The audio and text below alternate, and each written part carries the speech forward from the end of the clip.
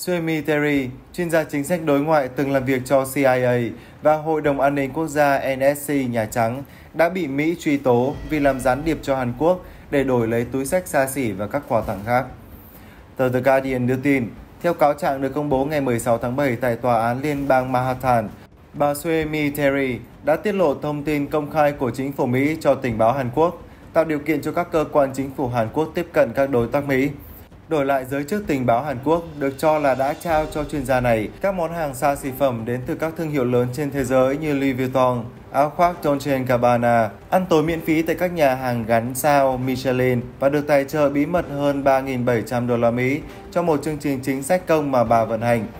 Bà Sue Miteri đã được cho là làm đặc vụ không chính thức cho chính phủ Hàn Quốc từ năm 2013, hai năm sau khi rời bỏ công việc kéo dài gần một thập niên trong chính phủ Mỹ. Hiện giờ, người phụ nữ này là một thành viên cấp cao của Hội đồng quan hệ đối ngoại, đồng thời là chuyên gia về Đông Á và bán đảo Triều Tiên. Bà Terry không trả lời ngay về những đề nghị bình luận, song luật sư riêng tuyên bố đó là những cáo buộc vô căn cứ và bóp méo công việc của một học giả, nhà phân tích tin tức nổi tiếng vì tính độc lập và đã có nhiều năm làm việc cho nước Mỹ. Trên thực tế, trong thời gian bị cáo buộc là làm việc cho Seoul, bà Terry lại là người chỉ trích gay gắt chính phủ Hàn Quốc.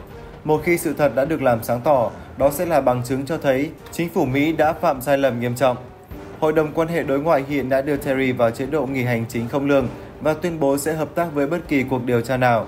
Đại sứ quán Hàn Quốc tại Mỹ chưa đưa ra bình luận về thông tin trên. Theo tiểu sử trực tuyến của báo Terry, bà là khách mời thường xuyên trên TV, đài phát thanh và đã nhiều lần làm chứng trước các ban của Quốc hội. Sinh ra ở Seoul và lớn lên ở Virginia, Battery Terry là nhà phân tích cấp cao của CIA từ năm 2001 đến năm 2008 và là giám đốc phụ trách các vấn đề Triều Tiên, Nhật Bản và Đại Tây Dương tại NSC từ năm 2008 đến năm 2009 dưới thời Tổng thống Đảng Cộng hòa George Bush và Tổng thống Đảng Dân Chủ Barack Obama. Hiện chuyên gia này sống ở New York. Bản cáo trạng buộc tội bà Terry không đăng ký theo đạo luật, đăng ký đặc vụ nước ngoài và âm mưu vi phạm luật đó. Tài liệu này cũng cho biết, chuyên gia Terry từng thừa nhận với FBI hồi tháng 6 năm 2023 về việc là một nguồn tin của cơ quan tình báo Hàn Quốc, đồng thời với việc đã cung cấp thông tin có giá trị cho Seoul. Thưa quý vị, Cục Điều tra Liên bang FBI Mỹ đã chính thức xác nhận cựu Tổng thống Donald Trump thực sự bị một viên đạn bắn sượt qua tai, chấm dứt suy đoán về nguyên nhân chính xác khiến tai ông chảy máu trong cuộc vận động tranh cử ngày 13 tháng 7 tại Butler, bang Pennsylvania. Cụ thể, trong một tuyên bố đưa ra vào ngày 26 tháng 7, Cục Điều tra Liên bang FBI Mỹ cho biết, thứ bắn vào tai cựu Tổng thống Donald Trump là một viên đạn, dù nguyên vẹn hay vỡ thành nhiều mảnh nhỏ, được bắn ra từ khẩu súng trường của tay súng 20 tuổi Thomas Matthew Group.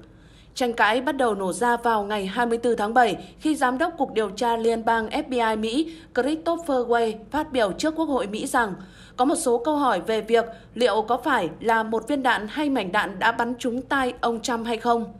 Vì vậy có thể hiểu được khi tôi ngồi đây, ngay lúc này tôi không biết liệu viên đạn đó ngoài việc gây ra vết sượt còn có thể rơi xuống một nơi nào khác hay không. Cục điều tra liên bang FBI Mỹ cho biết đã tìm thấy nhiều mảnh kim loại gần sân khấu và sử dụng những mảnh kim loại đó để xác định xem đó có phải là một viên đạn hay mảnh vỡ đã bắn trúng vào ông Trump hay không. Ngay sau khi tuyên bố của Cục Điều tra Liên bang FBI Mỹ được hãng tin Fox đăng tải, ông Trump đã đăng trên tài khoản mạng xã hội chớt của mình như sau. Tôi cho rằng đó là lời xin lỗi tốt nhất mà chúng ta sẽ nhận được từ Giám đốc Way. Tôi chấp nhận. Cựu Tổng thống đã đăng kèm ảnh tuyên bố. Một vụ nổ súng đã xảy ra trong cuộc vận động tranh cử của ứng viên Tổng thống Đảng Cộng Hòa Donald Trump tại Pennsylvania ngày 13 tháng 7, làm ông Trump và hai người khác bị thương, một người thiệt mạng. Thomas Matthew Crook, 20 tuổi, kẻ nổ súng đã bị bắn hạ và cơ quan điều tra vẫn đang nỗ lực xác định động cơ của tên này. Vụ nổ súng xảy ra chưa đầy 4 tháng trước cuộc bầu cử Tổng thống Mỹ ngày 5 tháng 11 tới.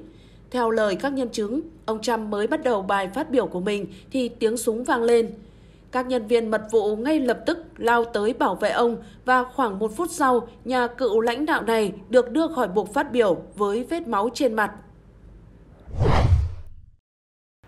Giám đốc FBI nói ông Trump đã có thể trúng một mảnh vỡ vào tay chứ không phải một viên đạn trong vụ ám sát hụt ngày 13 tháng 7.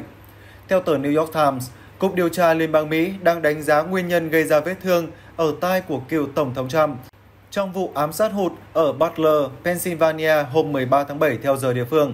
Theo đó, FBI đang tiến hành điều tra mảnh kim loại được tìm thấy gần sân khấu tại cuộc vận động tranh cử ở Butler để xác định xem liệu viên đạn của sát thủ hay mảnh vỡ của nó hoặc một thứ gì đó khác đã sượt qua đầu của cựu Tổng thống Donald Trump khiến ông chảy máu tai. FBI đã yêu cầu phỏng vấn ông Trump như một phần của cuộc điều tra rộng hơn, với hy vọng cung cấp được thêm thông tin chi tiết về vụ nổ súng và có thể là hồ sơ đầy đủ hơn về vết thương của ông Trump, theo một quan chức cho biết với điều kiện giấu tên để thảo luận về cuộc điều tra đang tiếp tục. Viên đạn, mảnh kim loại hay thứ gì khác? Những câu hỏi chưa được trả lời về vật thể gây tổn thương ở tay ứng cử viên Tổng thống của Đảng Cộng Hòa đã xuất hiện kể từ vụ nổ súng vào ngày 13 tháng 7, với việc ông Trump tuyên bố rằng ông đã bị trúng đạn và coi việc ông sống sót là một sự màu nhiệm. Tuy nhiên, các quan chức FBI đã thận trọng hơn, với lý do cần phải phân tích bằng chứng trước khi xác định thứ gì đã tấn công ông Trump, một viên đạn, mảnh kim loại hay thứ gì đó khác. Nhóm tái hiện nổ súng của FBI tiếp tục kiểm tra bằng chứng từ hiện trường bao gồm các mảnh đạn vỡ và cuộc điều tra vẫn đang tiếp diễn. FBI cho biết trong một tuyên bố vào ngày 25 tháng 7. Ngoài việc làm ông Trump bị thương, tay súng Thomas Crooks, 20 tuổi, ở Bethlehem Park, Pennsylvania, còn bắn trúng ba người tham dự buổi meeting, khiến cho một người tử vong. Stephen Chung, phát ngôn viên chiến dịch tranh cử của ông Trump, không cho biết liệu FBI có thể yêu cầu xem xét hồ sơ y tế của cựu Tổng thống sau vụ việc hay không. Tuy nhiên, bản thân ông vẫn chưa công bố chúng. FBI coi việc xác định vật thể sượt vào tai của cựu Tổng thống Donald Trump là quan trọng nhưng không phải là trọng tâm của cuộc điều tra hình sự quy mô lớn về hành động và động cơ của tay súng. Họ quan tâm nhiều nhất đến động cơ của Cruz hoặc bất kỳ dấu hiệu nào cho thấy cậu ta có thể có đồng phạm hoặc sự giúp đỡ nào đó.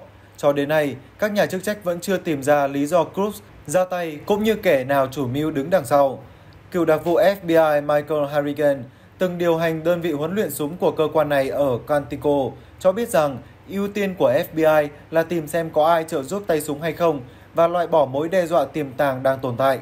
Ông Harrigan đã nói rằng, từ quan điểm điều tra, việc biết chuyện gì xảy ra đối với tai của Tổng thống không thực sự quan trọng.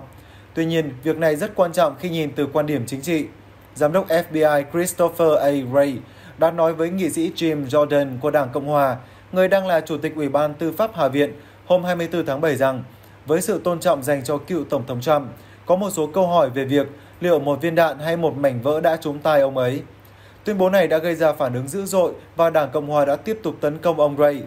Thật sốc khi Christopher Gray không biết sự thật là gì, nhưng điều đó có lẽ nói lên điều về hiệu quả công việc của ông hoặc sự thiếu sót đó hơn bất kỳ điều gì khác. Đây là lời của phát ngôn viên chiến dịch tranh cử của cựu Tổng thống Trump Stephen Chung.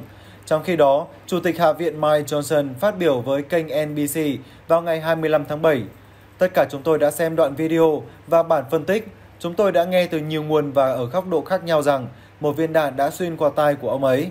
Ông Johnson nói thêm, có rất nhiều sự thất vọng và lo ngại về ban lãnh đạo của các cơ quan này, ý chỉ FBI và mật vụ Mỹ. Trong một bài đăng trên mạng xã hội vào tối ngày 25 tháng 7 theo giờ địa phương, Ông Trump cũng đã chỉ trích ông Ray, nói không gì ngạc nhiên khi FBI đã mất niềm tin của nước Mỹ. Cựu Tổng thống cho biết không có màu kính hay mảnh đạn nào. Không, thật không may, một viên đạn đã bắn trúng tai tôi và chúng rất mạnh, ông nói. Trong một tuyên bố, FBI đã khẳng định nhất quán và rõ ràng rằng vụ nổ súng là một âm mưu ám sát cựu Tổng thống Trump, khiến ông bị thương cũng như gây ra thương vong cho ba người khác. Viên đạn rất dễ bị vỡ ra khi va chạm, không có gì lạ khi loại đạn mà tay súng Cross bắn từ khẩu súng trường bán tự động kiểu AR-15 của mình bị vỡ ra sau khi bắn trúng ngay cả một vật rắn nhỏ. Các chuyên gia về súng cho biết, chẳng hạn một mảnh vỡ nhỏ có thể bật ra từ một cột kim loại. Tuy nhiên, một viên đạn có thể sượt qua tay ông Trump và FBI cũng không loại trừ điều đó. Các nhà điều tra đã tìm thấy 8 vỏ đạn trên mái nhà nơi kẻ nổ súng tọa lạc.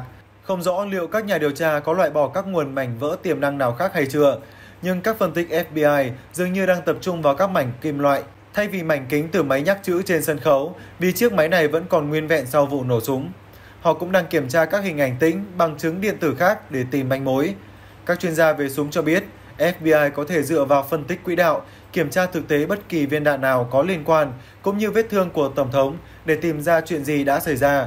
Cơ quan này cũng có thể gặp thuận lợi nếu tìm thấy DNA của cựu Tổng thống trên một mảnh đạn. Một kịch bản khác mà các nhà điều tra có thể sẽ khám xét. Viên đạn chết người nhưng dễ vỡ đó có thể bị phân mảnh sau khi sượt qua tai của ông Trump. Ông Harrigan nói, vấn đề bạn gặp phải với một viên đạn bay với tốc độ 3.200 feet mỗi giây là nó rất dễ bị vỡ khi va chạm vào một bề mặt trước mục tiêu. Theo ABC News, vụ ám sát bất thành cựu Tổng thống Donald Trump trong cuộc vận động tranh cử tại Butler, bang Pennsylvania vào chiều ngày 13 tháng 7 theo giờ địa phương diễn ra vỏn vẹn trong 11 phút 9 giây. Khi hàng trăm người ủng hộ ông Donald Trump đội những chiếc mũ MAGA làm cho nước Mỹ vĩ đại trở lại màu đỏ và mang theo các tấm biểu ngữ đến một khu hội trợ bên ngoài thị trấn nhỏ Butler, bang Pennsylvania có rất ít dấu hiệu cho thấy họ sắp chứng kiến một khoảnh khắc quan trọng trong chiến dịch tranh cử Tổng thống Mỹ và trong lịch sử nước Mỹ.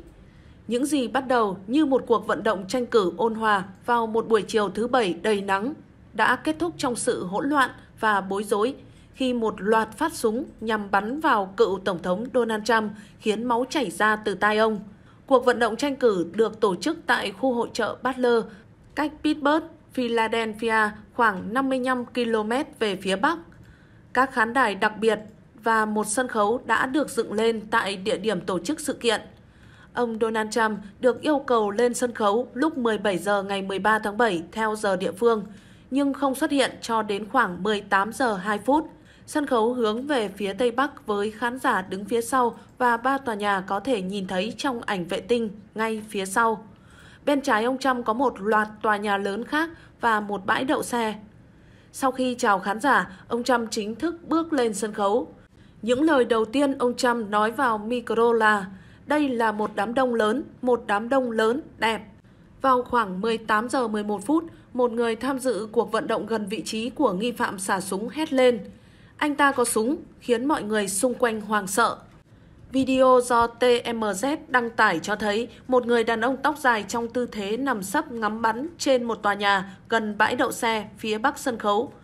Nguồn cấp dữ liệu phát trực tiếp từ mạng Jaisai Broadcasting được chứng thực với nguồn cấp dữ liệu trực tiếp từ AP và Reuters cho thấy phát súng đầu tiên được nghe thấy vào lúc 18 giờ 11 phút 33 giây theo giờ miền Đông. Có thể nghe thấy ba phát súng từ cùng một loại vũ khí trong vòng chưa đầy 3 giây giữa phát súng đầu tiên và phát thứ hai, cựu Tổng thống Donald Trump ôm lấy tai và hơi nhăn mặt, cho thấy viên đạn đầu tiên đã trúng đích. Phát súng thứ hai vang lên và ông Trump bắt đầu cúi mình sau buộc phát biểu. Đám đông phía sau bắt đầu nhận biết điều gì đang xảy ra. Tiếng súng thứ ba vang lên và ba thành viên trong đội an ninh gần như ngay lập tức áp sát ông Trump, dùng thân mình che chắn cho cựu Tổng thống. 4 giây sau, bốn phát súng khác vang lên. Tiếp theo là ba phát súng nhanh chóng phát ra từ thứ nghe giống như một loại súng khác. 11 giây sau, có thêm một tiếng súng nữa. Gần như ngay khoảnh khắc cựu Tổng thống Donald Trump đưa tay lên che sau tai khi bị trúng đạn, một trong những khẩu súng của điệp viên đã bóp cò. Người đặc vụ đã hạ gục tên tay súng đang ở trên nóc tòa nhà cách đó hàng trăm mét và được cho là bắn trúng đầu hắn. Đoạn video nhân chứng quay sau đó cho thấy thi thể của nghi phạm xả súng trên một tòa nhà cạnh bãi đậu xe phía Bắc, cách sân khấu nơi ông Trump phát biểu chưa đầy 150 mét. Cục điều tra Liên bang Mỹ FBI sau đó đã đưa ra tuyên bố xác định Thomas Matthew Group, 20 tuổi, sống ở Bethlehem bang Pennsylvania là đối tượng liên quan đến vụ ám sát. Hiện vẫn chưa rõ chính xác bằng cách nào Thomas Matthew Group lên được tầng thượng nhưng dữ liệu bản đồ đường phố và hình ảnh vệ tinh về vị trí này cho thấy có nhiều điểm có thể lên, bao gồm cả từ các tòa nhà lân cận và bãi đậu xe. Khi nhiều nhân viên mật vụ và những người hộ tống có vũ trang lao đến phía ông Trump, micro bắt được âm thanh của đội an ninh đang cố gắng điều phối đưa cựu tổng thống ra ngoài. Đoạn video do nhiếp ảnh gia Sabine Botford của tờ Washington Post thực hiện cho thấy nhân viên an ninh đang cố gắng đỡ cựu tổng thống đứng dậy những tiếng hét chúng tôi yêu ông Trump được nghe thấy từ đám đông. Đội an ninh đã sẵn sàng di chuyển sau khi con đường từ sân khấu đến chiếc SUV được thông thoáng. Khi đó vẫn nghe thấy ông Trump nói với các thành viên mật vụ trong video để tôi lấy lại đôi giày đã. Trong khi đó, cách sân khấu khoảng 50 mét về phía bắc, một người bị bắn trong làn đạn chéo đang được mọi người xung quanh giúp đỡ. Người phát ngôn của Sở Mật vụ Anthony Guglielmi sau đó thông báo Ngoài tay súng, một khán giả đã thiệt mạng và hai người khác bị thương nặng. Ở sân khấu, ông Trump giơ nắm đấm lên trời và đám đông gieo hò hô vang Mỹ. Khi ông được hộ tống xuống cầu thang và rời khỏi sân khấu, phải mất 22 giây, ông Trump mới đến được xe. Cựu Tổng thống giơ nắm đấm cuối cùng trước đám đông trước khi xe bắt đầu di chuyển lúc 18 giờ 13 phút 41 giây. Tất cả chỉ mất 11 phút 9 giây.